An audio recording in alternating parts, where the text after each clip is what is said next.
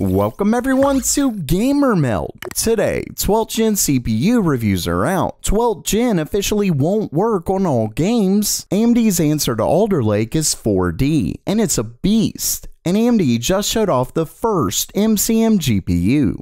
Okay, it's news time, and first up for today, Intel's 12th gen CPU reviews have finally dropped, and they're about what we've seen leaked.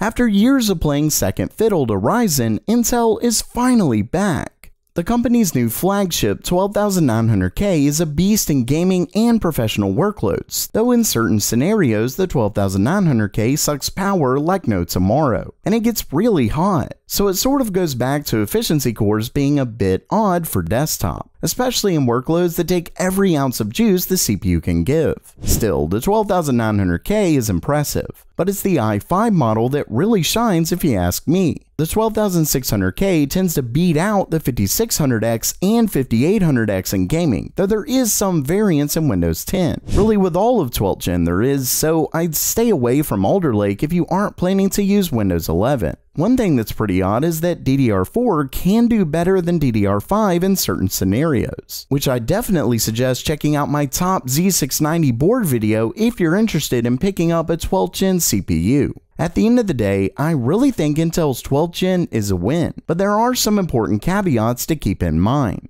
Did you know that you're missing out on hundreds of TV shows and movies right now? And you can get them all for just $1.39 a month with today's sponsor, Atlas VPN. See, if you watch Netflix, Hulu, or nearly any streaming service, they block shows based on your geographic location. And Atlas VPN is one of the least expensive ways around that. All you've got to do is open Atlas VPN on whatever device you use because it supports them all. Connect to the country you want to get the movies for, reload the streaming app, and there you go. Not only that, but you get all the benefits of a VPN, like encrypting your data and hiding your virtual location. And when you click the special link in the description, you get early access to Atlas VPN's Black Friday deal with 86% off and 3 extra months for free. So check that out below.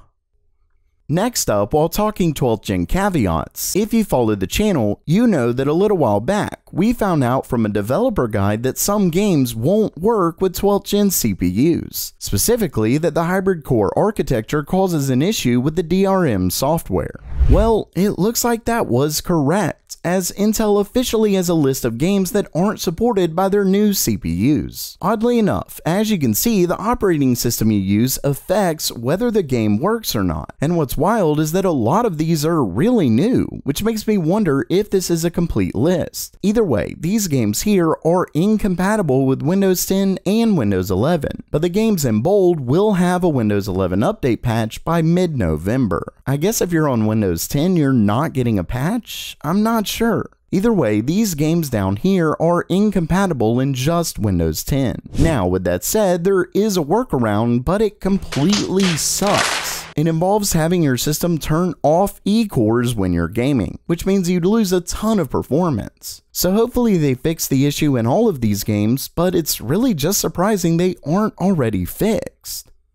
Next up for today, we have a leak that proves AMD isn't taking Intel's Alder Lake release sitting down. The story originally comes from Moore's Law is Dead, where he goes over something called Zen 4D. And let's just say, I'm pumped. According to the leak, Zen 4D is a fork of Zen 4, which basically comes with a cut down cache system with less features and a lower clock.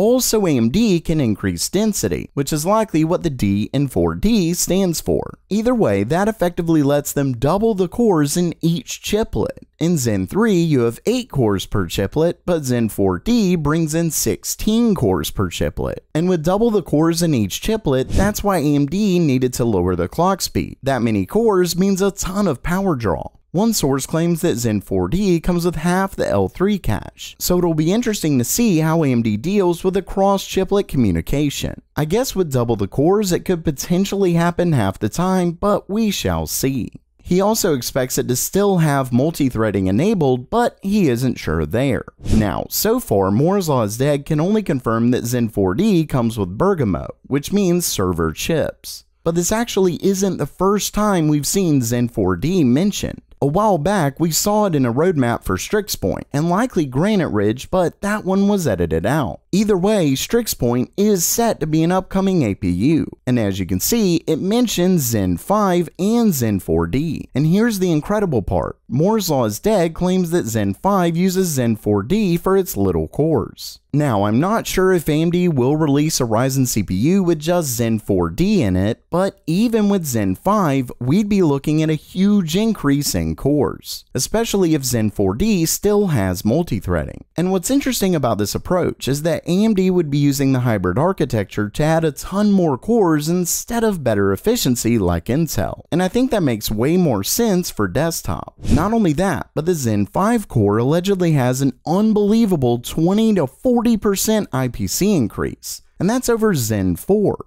Basically, AMD isn't slowing down their progress anytime soon. Unfortunately, it looks like we won't see a launch until late 2023, and potentially later for a Ryzen launch, but I'm pumped to see what AMD has up their sleeve.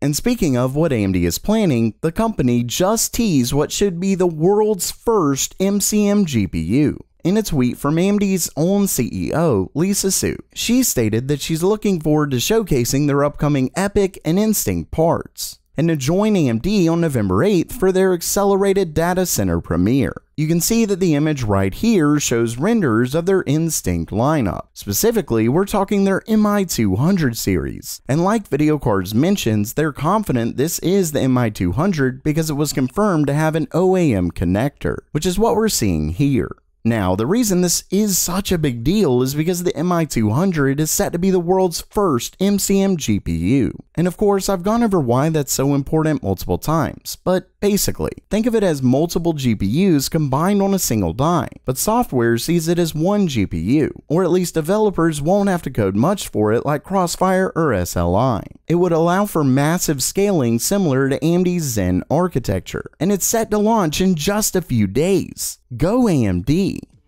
So while that does it for today, are you excited for the first MCM GPU? Or what about AMD's answer to Alder Lake? Let me know down in the comments below. And if you liked the video, please subscribe. And as always, have a great day!